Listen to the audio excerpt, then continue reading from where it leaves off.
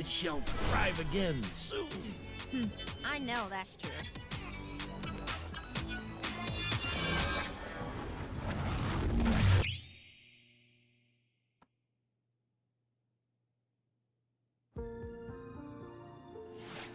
Thanks for protecting my family, D. Your family? He's our family now, too.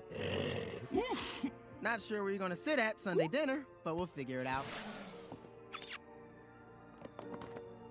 Could not be more proud of you. I knew my hero would save the day. Well, night, but whatever. Baby, you did great. You weren't so bad yourself, Rolling Thunder. Yeah, maybe I'll leave the sidekicking to this fella. Besides, there's already enough secret identities around this house anyways. Lunella Moon Girl Lafayette. You are not only the bravest, strongest, and smartest person I have ever met, you are also becoming the most kind, compassionate, and wise. You are everything a superhero should be.